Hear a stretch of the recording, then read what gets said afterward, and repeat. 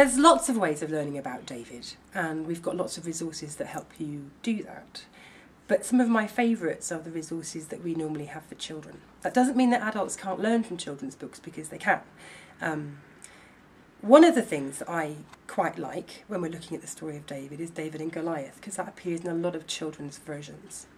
This is one uh, by Nicky Farthing and Bernice Lum, which is basically a retelling of David and Goliath as if it was a bunch of animals.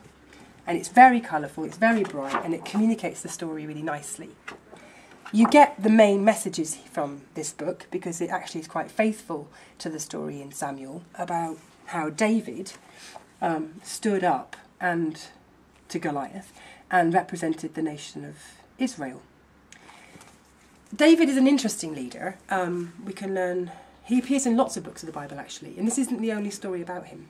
There are stories about David in 1 and 2 Chronicles, where we understand what he's like as a faithful leader, where we learn about him um, as one of a line of human kings representing the will of God somebody who is able to show when you are faithful to God, things go really well.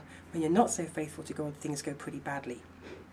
Now, there are other ways of looking at David and Goliath than this children's book, and one of my other favourites, also for children and also retelling, is in the Veggie Tales series. Now, these are very short um, American DVDs, so if you don't like American accents, don't even go here. But if you do, these are fabulous. They're fun, they're lively, they're colourful, the same characters reappear in lots of different adventure versions, and they also are faithful to Scripture.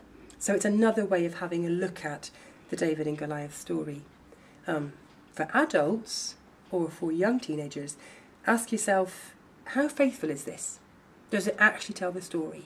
What are we learning about this person, this biblical person? Um, for children, let them enjoy it, let them get to know the story, and they can think about it a little bit later.